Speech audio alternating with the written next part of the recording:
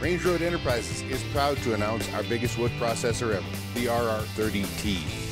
Made in Canada, the 30T will process logs up to 22 inches in diameter with the 28 inch chainsaw blade. The all new 8 way splitter is hydraulically height adjustable. A Huge 36 horsepower engine powers a 30 ton ram, splitting the toughest wood. The 30T integrates with all Range Road live decks, log lifters, and hydraulic bear options.